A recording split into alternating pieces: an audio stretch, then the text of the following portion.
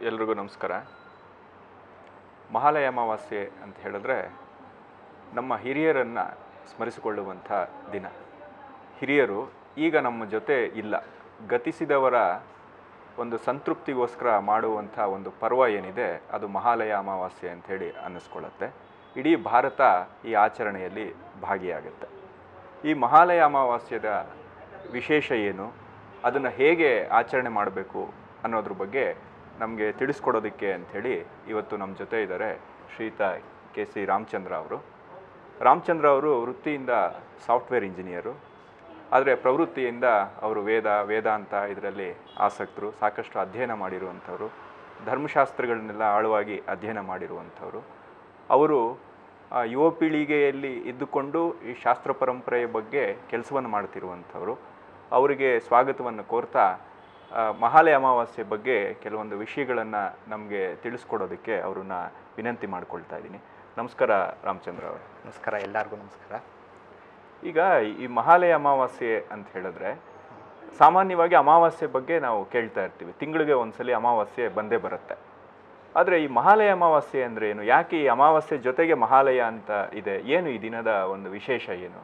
ನೀವೀಗಾಗಲೇ ಹೇಳಿದ್ರಿ ಮ ಅಮಾವಾಸ್ಯೆ ಮತ್ತು ಮಹಾಲಯ ಅಮಾವಾಸ್ಯೆಯ ಸ್ವರೂಪ ಸ್ವಲ್ಪ ಮಟ್ಟಿಗೆ ಈಗಾಗಲೇ ಹೇಳಿದ್ರಿ. ಮುಖ್ಯವಾಗಿ ನಮ್ಮ ಎಲ್ಲ ನಮ್ಮ ಭಾರತೀಯ ಸಂಸ್ಕೃತಿನಲ್ಲಿ ಒಂದೊಂದು ಕಾಲಮಾನವನ್ನು ಒಂದೊಂದು ಪೂಜೆಗೋಸ್ಕರವಾಗಿ ಮುಡುಪಾಗಿಟ್ಟಿದ್ದಾರೆ. ಅದರಲ್ಲಿ ಈ ಭಾದ್ರಪದ ಮಾಸದಲ್ಲಿ ಬರುವಂಥ ಕೃಷ್ಣ ಪಕ್ಷದಲ್ಲಿ ಬರುವಂಥ ಇದಕ್ಕೆ ಅಪರ ಪಕ್ಷ ಅಂತ ಕರೆದಿದ್ದಾರೆ. ಆ ಅಪರ ಪಕ್ಷಕ್ಕೆ ಇಡೀ ಪಕ್ಷವೇ ಅಪರ ಪಕ್ಷ ಅಂತ ಕರೆದಿದ್ದಾರೆ.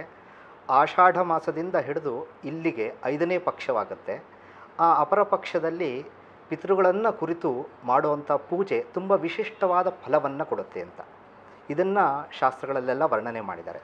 ಮುಖ್ಯವಾಗಿ ಮಹಾಂತಹ ಲೀಯಂತೆ ಅಸ್ಮಿನ್ ಅಂದರೆ ದೊಡ್ಡವರು ಯಾರಿದ್ದಾರೆ? ಹಿರಿಯರು ಶ್ರೇಷ್ಠರಾದವರು ಯಾವುದರಲ್ಲಿ ಒಂದಾಗ್ತಾರೋ ಆ ಪಕ್ಷವನ್ನು ಮಹಾಲಯ ಪಕ್ಷ ಅಂತ ಕರೆದಿದ್ದಾರೆ. ಇದು ತುಂಬ ವಿಶಿಷ್ಟವಾಗಿ ಸೂರ್ಯನ ಗತಿಯನ್ನು ಕೂಡ ಅನುಸರಿಸಿ ಇದೆ. ಸೂರ್ಯ ಕನ್ಯಾ ರಾಶಿ ಪ್ರವೇಶವಾದಾಗ, ಅಲ್ಲಿವರೆಗೂ ಸಿಂಹರಾಶಿಯಿಂದ ಇದ್ದು ಈ ಕನ್ಯಾ ರಾಶಿಗೆ ಪ್ರವೇಶವಾದ ತಕ್ಷಣ ಅಲ್ಲಿಂದ ಅದರ ಜೊತೆಗೆ ಈ ಭಾದ್ರಪದ ಮಾಸದ ಕೃಷ್ಣ ಪಕ್ಷ ಎರಡೂ ಹೊಂದಿಕೊಂಡು ಬಂದಾಗ ಈ ಮಹಾಲಯ ಪಕ್ಷ ಅಂತ ಕರೆದಿದ್ದಾರೆ. ಇದು ಹದಿನೈದು ದಿವಸಗಳ ಕಾಲ ಇರುವಂಥ ಒಂದು ಪಕ್ಷ. ಇದಕ್ಕೆ ನಭಸ್ಯ ಅಪರೇ ಪುಣ್ಯ ಅಂದರೆ ಅಪರ ಮಾಸದಲ್ಲಿ ಬರುವಂಥದ್ದು. ರವಿ ಜೊತೆಗೂ ಸೇರಿಕೊಂಡಾಗ ವಿಶಿಷ್ಟ ಫಲ ಅಂತ ಹೇಳಿದ್ದಾರೆ.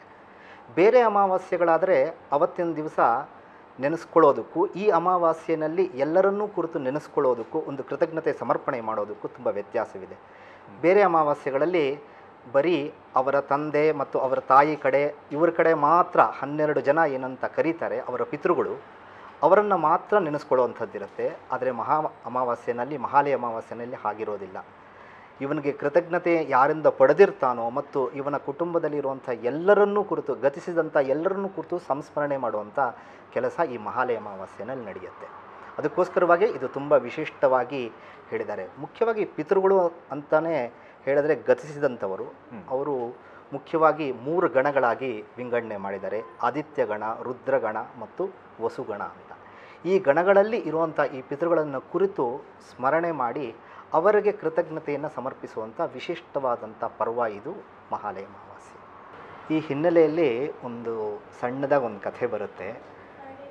ಈ ಸಮಯದಲ್ಲಿ, ಅಂದರೆ ಭಾದ್ರಪದ ಬಹುಳ ಕೃಷ್ಣ ಪಕ್ಷದಲ್ಲಿ ಯಮಧರ್ಮರಾಜ ತನ್ನಲ್ಲಿ ಅವನಲ್ಲಿ ಇರುವಂಥ ಎಲ್ಲ ಪಿತೃಗಳನ್ನು ಕೂಡ ಭೂಲೋಕಕ್ಕೆ ಕಳಿಸ್ತಾನಂತೆ. ಕಳಿಸಿ ಇಲ್ಲಿ ಅವರ ಮಕ್ಕಳು ಮತ್ತು ಬೇರೆ ಯಾರಿದ್ದಾರೆ ಅವರೆಲ್ಲರೂ ಕೂಡ ಇವರಿಗೆ ಹಸಿವು ಬಾಯಾರಿಕೆಗಳಿಗೆ ಏನಾದರೂ ಕೂಡ ತರ್ಪಣ ಮತ್ತು ಪಿಂಡ ಪ್ರದಾನಗಳನ್ನು ಕೊಡ್ತಾ ಇದ್ದಾರಾ ನೋಡ್ಕೊಂಬುದು ಬನ್ನಿ ಅಂತ ಹೇಳಿ ಒಂದು ರಜೆ ಥರ ಕೊಡ್ತಾನೆ ಅಂತ ಒಂದು ಆಲಂಕಾರಿಕವಾಗಿ ಭಾಷೆಯಾಗಿ ಹೇಳ್ತಾರೆ ಕೆಲವು ಕಡೆ. ಅಂದರೆ ಒಟ್ಟಿನಲ್ಲಿ ಶ್ರದ್ಧಾರೂಪವಾಗಿ ಇಲ್ಲಿ ಮಕ್ಕಳು ಕೃತಜ್ಞತೆ ಸಮರ್ಪ ಸಮರ್ಪಣೆ ಮಾಡ್ತಾ ಇದ್ದಾರಾ ಇಲ್ವಾ ಅನ್ನೋದನ್ನು ಮುಖ್ಯವಾಗಿ ಗಮನಿಸ್ಲಿಕ್ಕೋಸ್ಕರವಾಗಿ ಈ ಕಥೆ ಬಂದಿದೆ. ಪಿತೃಗಳು ಅಂತ ಹೇಳಿದ್ರೆ ಯಾಕೆ ನಾವು ಪಿತೃಗಳನ್ನು ವಿಶೇಷವಾಗಿ ಸ್ಮರಿಸ್ಕೋಬೇಕು? ಹಾಂ. ಈ ನಮ್ಮ ಹಾ ನಮ್ಮಲ್ಲಿ ಆ ಋಣಗಳ ಕಲ್ಪನೆ. ಒಂದು ಇದೆಯಲ್ಲ ಅದ್ರ ಬಗ್ಗೆ ಸ್ವಲ್ಪ ಹಾಂ.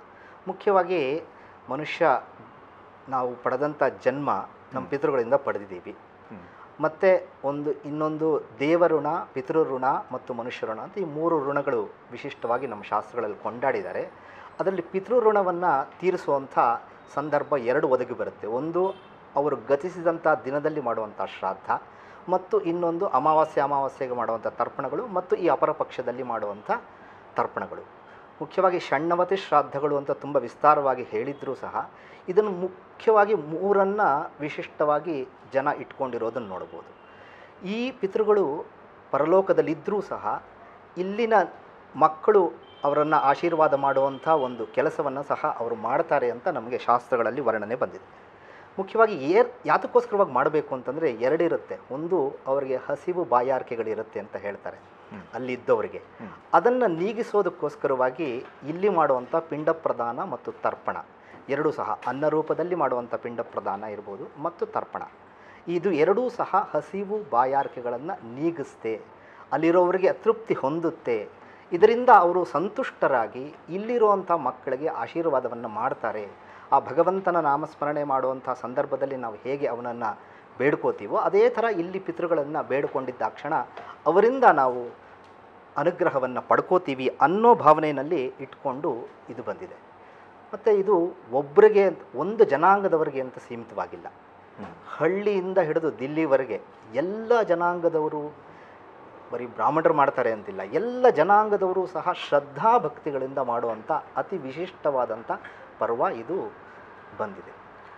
ಈಗ ಮಹಾಲಯ ಅಮಾವಾಸ್ಯೆ ಅಂತ ಹೇಳಿದ್ರೆ ಆಚರಣೆ ಬಗ್ಗೆ ಒಂದು ಸಹಜವಾಗಿ ಒಂದು ಪ್ರಶ್ನೆ ಬರುತ್ತೆ.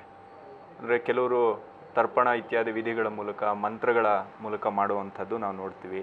ಇನ್ನು ಕೆಲವರು ಎಡೆ ನೀಡುವಂಥದ್ದು. ಸಮಾಧಿ ಮುಂದೆ ತಮ್ಮ ಗತಿಸಿದ ಹಿರಿಯರ ಸಮಾಧಿ ಮುಂದೆ ಎಡೆ ಇಟ್ಟು ಆಚರಣೆ ಮಾಡುವಂಥದ್ದು. ಅಂದರೆ ಹೇಗೆಲ್ಲ ಮಾಡಬಹುದು ಆಚರಣೆ ಅನ್ನೋದ್ರ ಬಗ್ಗೆ ಸ್ವಲ್ಪ ಮಾಹಿತಿ ಕೊಡ್ತೀರಾ? ನೀವು ಹೇಳಿದ್ದು ತುಂಬ ಸರಿಯಾಗಿದೆ. ಅಂದರೆ ಇದರ ಅವರವರ ಸಂಪ್ರದಾಯಕ್ಕೆ ಅನುಗುಣವಾಗಿ ಈ ಆಚರಣೆಗಳೆಲ್ಲ ವಿಭಿನ್ನ ಶ್ ರೀತಿಯಲ್ಲಿ ಹೇಳ್ಕೊಂಡು ಬಂದಿದೆ ಮತ್ತು ಆಚರಣೆ ಮಾಡ್ಕೊಳ್ತಾನೂ ಬಂತಾನೂ ಇದ್ದಾರೆ. ಮುಖ್ಯವಾಗಿ ಈ ಮಹಾಲಯ ಅಮಾವಾಸ್ಯೆಯ ದಿವಸ ಮತ್ತು ಈ ಪಕ್ಷದಲ್ಲಿ ಸಹ ಪಿಂಡ ಪ್ರದಾನವನ್ನು ಮಾಡೋರೂ ಇದ್ದಾರೆ ಮತ್ತು ಬರೀ ತರ್ಪಣವನ್ನು ಬಿಡುವಂಥವರೂ ಇದ್ದಾರೆ. ಹಾಗಾಗಿ ನೀವು, ಮತ್ತೆ ನೀವು ಹೇಳಿದ ಹಾಗೆ ಅವರಿಗೆ ಇಷ್ಟವಾದ ಪದಾರ್ಥಗಳನ್ನು ಇಟ್ಟು ಸಮಾಧಿಯ ಮೂಲಕ ಅವರ ಸಂಸ್ಮರಣೆಯನ್ನು ಮಾಡಿ ಮಾಡುವಂಥ ಸಂಪ್ರದಾಯವೂ ಇದೆ. ಇದೆಲ್ಲವೂ ಸಹ ಯಾವುದು ತಪ್ಪು ಅಂತ ಏನಿಲ್ಲ. ಆದರೆ ಮುಖ್ಯವಾಗಿ ತರ್ಪಣವನ್ನು ಮಾತ್ರ ಸಾಮಾನ್ಯವಾಗಿ ಎಲ್ಲರೂ ಆಚರಣೆ ಮಾಡ್ಕೊಂಡು ಬಂದಿದ್ದಾರೆ. ಪಿಂಡ ಪ್ರದಾನವನ್ನು ಎಲ್ಲರೂ ಮಾಡೋಕ್ಕಾಗ್ದಿರ ಇರೋವಂಥವರು ಸಹ ಈ ಹದಿನೈದು ದಿವಸದಲ್ಲಿ ಯಾವ ದಿವಸವೂ ಮಾಡದಿರ ಇದ್ದರೂ ಸಹ ಕೊನೆಯ ದಿವಸವಾದ ಮಹಾಲಯ ಅಮಾವಾಸ್ಯ ದಿವಸ ಮಟ್ಟಿಗೆ ಎಲ್ಲರೂ ಸಹ ಶ್ರದ್ಧಾಭಕ್ತಿಗಳಿಂದ ತರ್ಪಣವನ್ನು ಕೊಡ್ತಾರೆ. ತರ್ಪಣವನ್ನು ಕೊಡೋ ಕ್ರಮದಲ್ಲಿ ತುಂಬ ಬೇರೆ ತರ್ ಅಮಾವಾಸ್ಯೆ ತರ್ಪಣಗಳಿಗೂ ಇಲ್ಲಿಗೂ ಬಹಳ ವ್ಯತ್ಯಾಸ ಇದೆ ಈಗಾಗಲೇ ಹೇಳಿದೆ ಸುಮಾರು ನಲವತ್ತೊಂದು ಜನರ ಲಿಸ್ಟನ್ನು ಕೊಟ್ಟಿದ್ದಾರೆ ತರ್ಪಣವನ್ನು? ಯಾರ್ಯಾರು ಕೊಡಬಹುದು ಅಂತನ್ನೋ ವಿಷಯವಾಗಿ.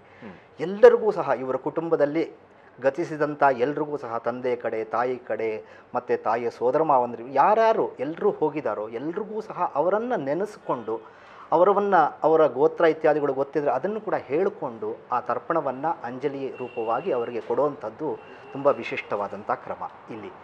ಇದನ್ನೇ ಹೆಚ್ಚು ಜನ ಆಚರಣೆ ಮಾಡ್ಕೊಂಡು ಬರ್ತಾ ಇರೋದು. ಎಲ್ಲಿವರೆಗೂ ಹೋಗಿದ್ದಾರೆ ಅಂದರೆ ಮುಖ್ಯವಾಗಿ ಯಾರಿಂದ ಕೃತಜ್ಞತೆಯನ್ನು ಪಡೆದಂಥ ಮಿತ್ರನಿರ್ಬೋದು ಆಚಾರ್ಯ ಗುರು ಮತ್ತು ಮನೆಯಲ್ಲಿ ಕೆಲಸ ಮಾಡಿದಂಥ ಭೃತ್ಯುಗಳು ಅಂದರೆ ಸೇವಕರಾಗಿ ಕೆಲಸ ಮಾಡಿದಂಥವರು ಸಹ ಅವರು ಗತಿಸಿದ್ರೆ ಕೃತಜ್ಞತೆಯನ್ನು ಸಮರ್ಪಣೆ ಮಾಡುವಂಥ ಅತಿ ವಿಶಿಷ್ಟವಾದಂಥ ಕೆಲಸ ಈ ಮಹಾಲಯ ಅಮಾವಾಸ್ಯೆ ದಿವಸ ನಡೆಯುವಂಥದ್ದು.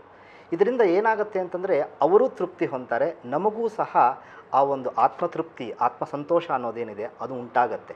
ಇದರಿಂದ ಅನುಗ್ರಹವೂ ಸಿಗತ್ತೆ ಪಿತೃಗಳಿಂದ ಮತ್ತು ನಮಗೂ ಕೂಡ ಒಂದು ಕೃತಜ್ಞತೆಯನ್ನು ವರ್ಷಕ್ಕೊಂದು ಬಾರಿ ಆದರೂ ಎಲ್ಲರನ್ನೂ ನೆನೆಸಿ ಮಾಡುವಂಥ ಈ ಒಂದು ತರ್ಪಣದಿಂದ ಅವರಿಗೂ ನಮಗೂ ಇಬ್ಬರಿಗೂ ಸಹ ಉಪಕ, ಉಪಕಾರ ಸ್ಮರಣೆ ಮಾಡುವಂಥ ಪರ್ವ ಇದು ಅಂತ ನಾವು ಹೇಳ್ಬೋದು.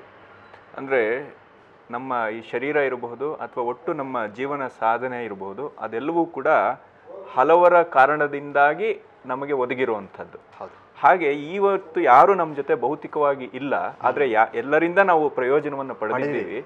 ಅವರೆಲ್ಲರನ್ನೂ ಸ್ಮರಿಸಿಕೊಂಡು ಅವರಿಗೆ ಕೃತಜ್ಞತೆಯನ್ನು ಸಮರ್ಪಿಸುವಂಥ ಒಂದು ಮಹಾಪರ್ವ ಈ ಮಹಾಲಯ ಅಂತ ಹೇಳಿ ಹೌದು. ಹೇಳ್ಬೋದಲ್ವಾ? ತುಂಬ ಖಂಡಿತ. ಅದೇ ಶಾಸ್ತ್ರಗಳ ಒಂದು ನಿರ್ದೇಶನವೂ ಅದೇ ಮತ್ತು ಆಚರಣೆಯಲ್ಲಿ ಬಂದಿರುವಂಥ ಕ್ರಮವೂ ಅದೇನೆ. ಯಾರ್ಯಾರಿಂದ ಕೃತಜ್ಞತೆಯನ್ನು ಪಡ್ಕೊಂಡಿದ್ದೀವಿ, ಯಾರ್ಯಾರು ನಮಗೆ ಇಷ್ಟರು, ಮಿತ್ರರು, ಬಂಧುಗಳು ಆಗಿದ್ದಾರೆ ಎಲ್ಲರನ್ನೂ ಸಹ ನೆನೆಸ್ಕೊಂಡು ಇವತ್ತು ನಾವು ಕೊಟ್ಟಂಥ ತಿಲಾಂಜಲಿ ಏನಿದೆ, ಅಂದರೆ ತಿಲವನ್ನು ವಿಶಿಷ್ಟವಾಗಿ ಹೇಳಿದ್ದಾರೆ. ಇದಕ್ಕೆ ಪಿಂಡ ಪ್ರದಾನವನ್ನು ಹೇಳಿದೆ. ಪಿಂಡದಿಂದ ಉಂಟಾದಂಥ ಒಂದು ಊಷ್ಮ ಭಾಗ ಅಂತ ಏನಿದೆ, ಅದು ಆ ರೂಪದಲ್ಲಿ ಪಡ್ಕೊಂಡು ಪಿತೃಗಳಿಗೆ ಹೋಗಿ ಸೇರಿ ಅವರಿಂದ, ಅವರಿಗೆ ಇದರಿಂದ ಸಹಾಯವಾಗುತ್ತೆ ಅಂತ ಹೇಳ್ತಾರೆ. ತಿಲಾಂಜಲಿಯನ್ನು ಕೊಡೋದರಿಂದ ತಿಲವನ್ನು ಪ್ರಾಶಸ್ತ್ಯವಾಗಿ ಹೇಳಿದ್ದಾರೆ.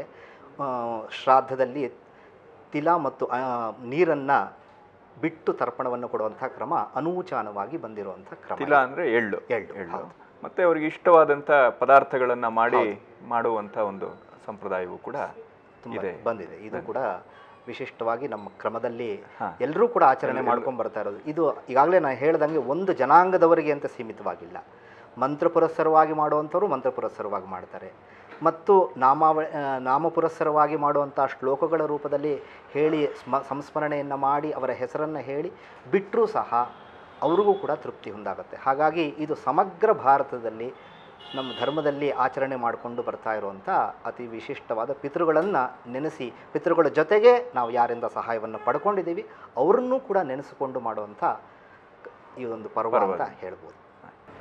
ಮಹಾಲಯ ಅಮಾವಾಸ್ಯೆಯ ವಿಶೇಷ ಮತ್ತು ಅದರ ಆಚರಣೆ ಬಗ್ಗೆ ಪ್ರಜಾವಾಣಿಯ ಓದುಗರಿಗೆ ಮತ್ತು ನೋಡುಗರಿಗೆ ಇಬ್ಬರಿಗೂ ಕೂಡ ಸಾಕಷ್ಟು ವಿಷಯಗಳನ್ನು ನೀವು ತಿಳಿಸ್ಕೊಟ್ಟಿದ್ದೀರಿ. ಇಲ್ಲಿ ತನಕ ಬಂದು ನಮ್ಮ ಜೊತೆ ಮಾಹಿತಿಯನ್ನು ಹಂಚಿಕೊಂಡಿದ್ದಕ್ಕೆ ಶ್ರೀಯುತ ಕೆ ಸಿ ರಾಮಚಂದ್ರ ಶಾಸ್ತ್ರಿ ಅವರಿಗೆ ಪ್ರಜಾವಾಣಿ ಬಳಗದ ಪರವಾಗಿ ಧನ್ಯವಾದಗಳ ಸಮರ್ಪಣೆ ಮಾಡ್ತಾ ಇದ್ದೀನಿ. ನಿಮಗೂ ಸಹ ಧನ್ಯವಾದಗಳು.